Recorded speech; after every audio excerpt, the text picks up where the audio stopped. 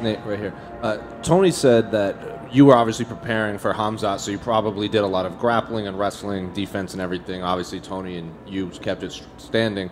And when he shot in for a takedown, you grabbed that guillotine, and Tony was under the impression that he probably practiced this a lot. in I was about to stand, snatch that a few times. Did you see him almost shooting? And I was like, I think get the fuck out of there. He didn't want to get caught in that. When he was in, he was like, he was like what was the question? Did you watch Khamzat's fight? Tonight, I was watching all the warming up.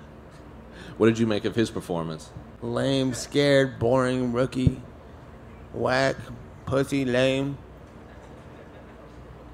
dick sucker.